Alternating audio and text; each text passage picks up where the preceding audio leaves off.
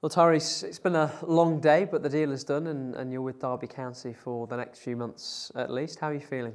Yeah, I'm happy to be here. Yeah, like you said, it's been a long day, but I'm I'm excited to get started and see the boys and get get going. Do you know anyone in, in the dressing room? Yeah, I played. I've played with um, Nathaniel Mendez-Laing at Sheffield Wednesday briefly, and um, Louis Sibley. I played with him at England a couple of times, so I'm, I'm familiar with a few of them. You mentioned Sheffield Wednesday. You had the, the loan spell at Ipswich as well last season, of course, when they had tremendous success. What, what have you taken from, from those spells that you've had? Yeah, it's been it's been good. Um, obviously, I've been injured for quite a bit of it, but like um, you just got to keep going. And I think I've enjoyed both spells.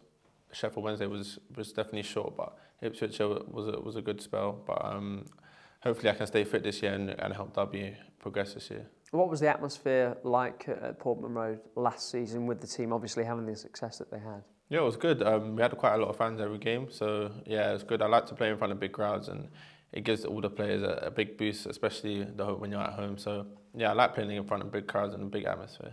Big game player? Yeah, I like to think so. Yeah. in terms of your your style, um, obviously you've you've got the frame of, for a centre forward. What what sort of striker are you?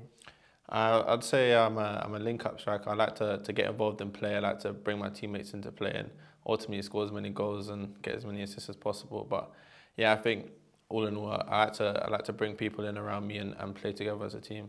What's Paul Warne said to you about the, the role that, that he wants and, uh, and what he wants from you while you're here? Yeah, I spoke to him, I spoke to him a few times before I came. Um, he just said that yeah, we, we've seen the way you play, we know how you play. And he told me the things that he likes about me and the like, things that he would like to um, help me get better at. So yeah, I've spoke to him about that, and yeah, I think that will be a, will be good to work together and uh, good for the team. You mentioned injuries. I know there's been a couple. How frustrating has that been for you over the last year or so when you when you just wanted to kick on? I suppose. Yeah, yeah I think injuries has been a, a big point in my career um, so far. So yeah, like you said, it's, it's been tough, especially the last couple of years. I've, I've had a lot of big injuries, so hopefully, fingers crossed, this season we stay injury free and play as many games as possible. Yeah, fingers crossed. Are you, are you fit and, and good to go now, or are you going to need a, a little bit of time just to sharpen up? No, I'm fit. I've had my whole pre played the whole preseason at Arsenal, played a couple of games, so yeah, I'm fit and ready to go. Good to hear. Welcome to Derby. Thank you.